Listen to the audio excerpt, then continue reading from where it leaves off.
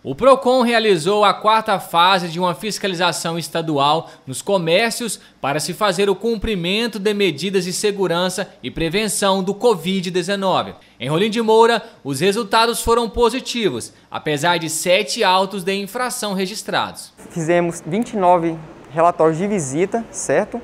E sete autos de infração e um auto de constatação. A gente entrava no comércio, né?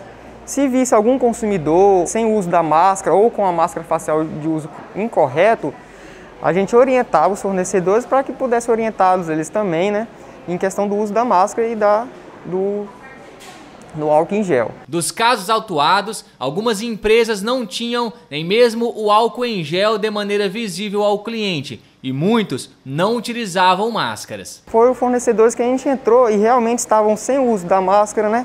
Sem o álcool em gel nas bancadas, certo?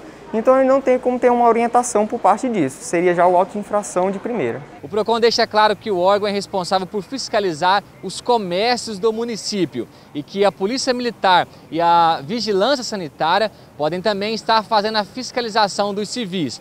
Entretanto, mesmo com alguns resultados negativos, a operação ficou com um saldo positivo e a visão do município é que os comerciantes estão sim colaborando para a prevenção do coronavírus. O decreto estadual dirimiu essa competência para o PROCON, juntos com os órgãos públicos, né, que seria a Polícia Militar e a Vigilância Sanitária.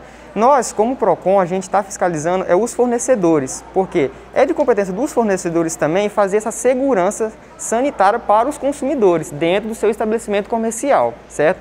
A gente não pode é, querer fazer essa fiscalização na rua, nos bairros, em avenidas públicas, porque isso já seria de competência da Polícia Militar e da Vigilância Sanitária do município. Com a fiscalização, a gente constatou que realmente muitos dos fornecedores, dos empresários da cidade, estão dentro das medidas. Foi uma minoria que não estava cumprindo, né? Mas a gente teve aquela parte de conscientização, de orientação é, para esses fornecedores, para eles continuarem, né? Tanto é que a gente ia nos fornecedores que a gente via que realmente estavam cumprindo todas as exigências, a gente parabenizava e para continuar dessa forma, porque só assim nós vamos sair dessa pandemia juntos. E o PROCON estadual quer parabenizar os empresários que estavam dentro das medidas sanitárias que a gente fiscalizou nesses dois, dois dias de fiscalização, que foram em Rolim de Moura, Santa Luzia e Alta Floresta.